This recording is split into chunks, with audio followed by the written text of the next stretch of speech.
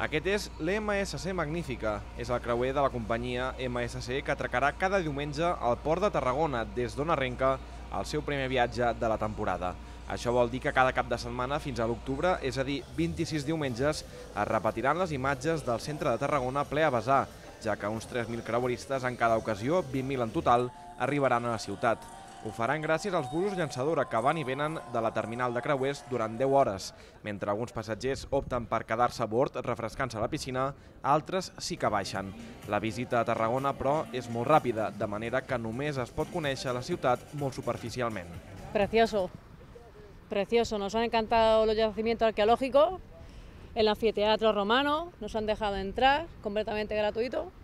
La verdad que cuenta mucha historia y volveremos a repetir, visitando los anfiteatros y la arqueología como dos horas.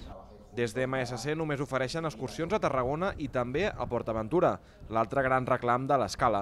La Naviliera assegura que si algun passatger vol anar a Barcelona, ho ha de fer pel seu compte.